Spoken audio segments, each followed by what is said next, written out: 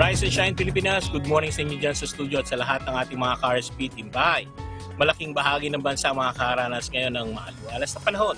Patuloy pa rin ang pag-iral ng Intertropical Convergence Zone o ITCZ, ang weather system na nakakapekto ngayon sa southern Mindanao. Habang easterlies o ang maalinsangang hangin ang gagaling naman sa Pacific Ocean, ang magdadala ng mga localized thunderstorms na magbibigay ng mga kalat-kalat na panandaliang pagulan sa Metro Manila at sa natitirang bahagi ng bansa, lalo na pagdating ng hapon. Halos wala tayo nakikita din ngayon dito sa ating weather satellite image ng pag-asa, mga kulay red, orange at yellow na mga makakapal na namumuong kaulapan na bahagi ng ITCZ.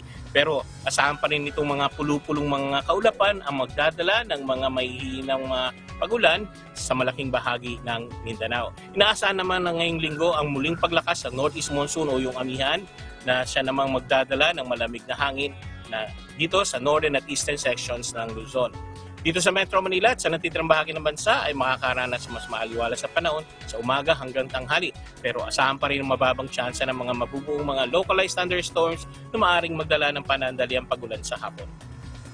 Dito sa Luzon, maaliwala sa panahon ang aasahan sa umaga hanggang tanghali. May maliit na tsansa pa rin ng mga panandalian at mahihinang pagulan, dala ng mga localized thunderstorms na maaaring mabuo sa hapon. Maaring umabot sa 32 degrees Celsius ang temperatura dito sa Metro Manila at Legazpi City, Albay ngayong araw.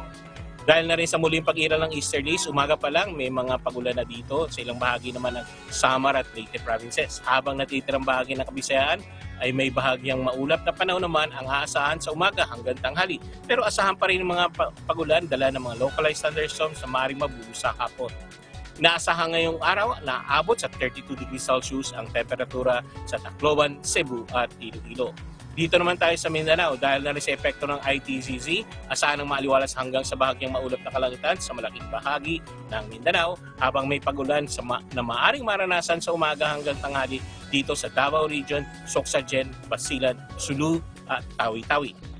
Ngayong araw ng ngayong araw walang inilabas sa gale warning ang pag-asa pero asahan pa rin na magiging moderate to rough o katamtaman hanggang sa maalon ang mga karagatang nakapaligid sa Luzon, Visayas at Mindanao pinaka mainit naman ang aasahang temperatura sa Zamboanga City sa na nasa 34 degrees Celsius.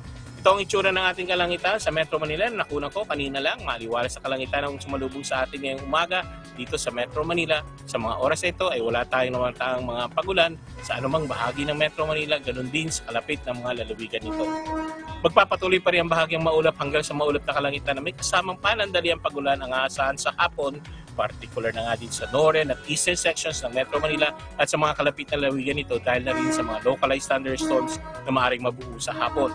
At sa mga papasok sa trabaho at eskwelahan ngayong lunes, magdala pa rin tayo ng payong panangga sa sikat ng araw sa umaga hanggang tanghali at protection sa ulan, lalo na doon sa mga umuwi sa hapon o early evening sa mga panandaliang ulan na maaaring maranasan. Sumikat kanina ang araw 5.56 a.m. at lulubog naman ito mamayang 5.24 p.m. ng hapon. Ako po si Edmond Rosales para sa InfoWeather. Lagi maging handa, may pagyo man o wala. Mula po din sa Morning Show ng Bayan, Rise and Shine, Pilipinas.